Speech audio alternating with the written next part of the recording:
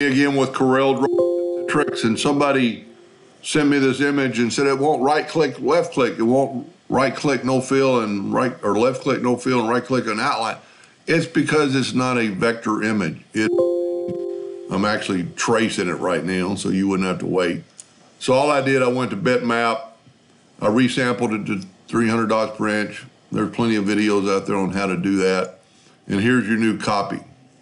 You can see the other so this will not right click, left click because there's nothing, it's just a, it's just a image.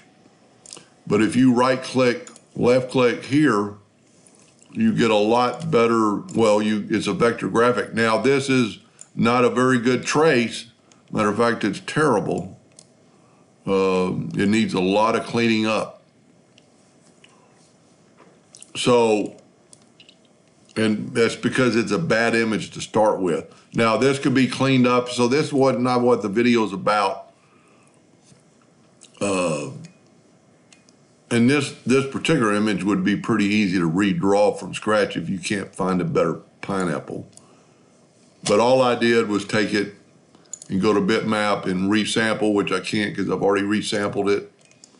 And um, well, I can go to resample and I, I put it at 300 dots per inch, which is what at least you want. Go to bitmap, outline trace, clip art. And I'm using Corel 20 and it's, uh, they say it does a lot better job, but it, it takes longer. So it's working, so I'm not gonna let you stand through that part of the video.